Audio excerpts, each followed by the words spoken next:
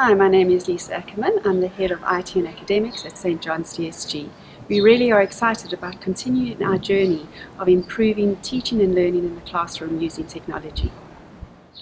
Each grade 8 girl will be issued with an HP laptop that has a touchscreen and stylus, as well as 8 gigs of RAM and 256 SSD card. Parents will have the option of purchasing a Thule bag through St John's or opt to purchase their own. We use Microsoft Teams as our learning platform. This enables us to assist with the distribution of notes and note taking and has become our main form of communication.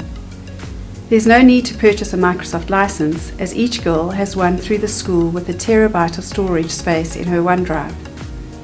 We have a secure firewall in place to protect your daughter from any dangerous or harmful content.